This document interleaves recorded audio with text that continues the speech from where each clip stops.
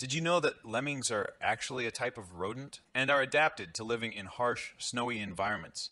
One of their most notable features is their thick, woolly fur, which helps to keep them warm in the frigid temperatures of the Arctic tundra. Another standout feature of lemmings is their incredible reproductive abilities.